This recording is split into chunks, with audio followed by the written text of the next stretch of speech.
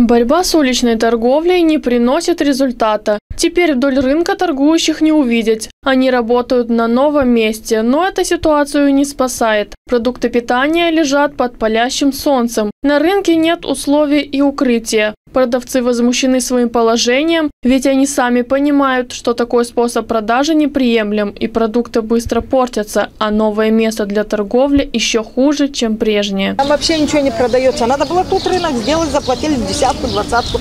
По пути люди в основном там идут все. Мы там торговали на улице, я изредка приезжаю, когда вот что-то есть лишнее. И там лучше торговля была, чем тут. Там вообще ничего, никаких условий. Вы видели, там щебенка заходили туда? а, Вот зайдите, ноги люди болят. там стоят никто, ни скамеек, ни навесов молочной, там же солнце, ну же скиснет. Каждый день берут 10 лет. Куда берут? Пускай делают удобство здесь. Стоим в тени, опухли ноги уже, еле стою. Негде присесть. Там могут торговать те, а с этой, с этой стороны мы простые люди, мы не должны торговать. А там те должны торговать, кто что имеет по два, по три магазина. Платье, все там стоят. Пускай все в магазин заходят. Овощи тоже. Овощи вон дороги. Тротуары почти все. Да, там люди проходили, сюда человек придет только если он именно пришел за брынзой. А там он проходил, он мог вспомнить, он мог заметить и просто захотеть. А сюда он придет только если он с дома себе поставил галочку, что я иду за брынзой. Только так придет. А таких мало. Торгующие требуют, чтобы им предоставили хорошие условия, и тогда они не будут выходить на улицу. Я думаю, что это действительно является большой проблемой, потому что многие дети, они пытаются помочь своим родителям, своим семьям. Есть многодетные семьи, есть э, нуждающиеся. И действительно было бы здорово, если правительство, оно просто поддержало своих, поддержало свой народ, помогли нам, создали хорошие условия.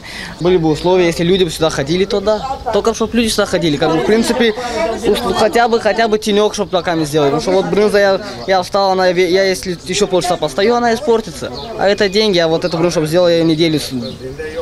Как бы сложно. Примар города Камрад Сергей Анастасов утверждает, что есть социальные места для торговли, за которые платить не нужно. По его словам, продавцам условия предоставляются, но они ими не пользуются, так как там нет возможности хорошо заработать. И те люди, которые сегодня торгуют на улице и говорят о том, что там под солнцем где-то, мы им предоставляли разные возможности, договаривались, но это все рынки являются частной собственностью, они не являются собственностью примарии. Внутри тех рынков, участников у Богачева, там в Дезе есть достаточное количество мест. Для тех бабушек, которые сегодня являются пенсионерами, которые продают там петрушку или что, для них тоже есть бесплатные места.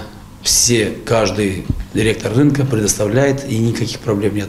Здесь на рынке по Третьякова, Валькова, там до 100 мест предложили для тех, кто торгует молоком, этим, и тех, и для тех бабушек бесплатно. Никаких в этом вопросов нет. Здесь речь идет только о том, что по улице Победа торговля идет, а внутри она, если на улице идет, то внутри она не идет. Возмущения среди продавцов растут с каждым днем. Предоставляемыми местами и условиями люди недовольны и ждут лучших предложений.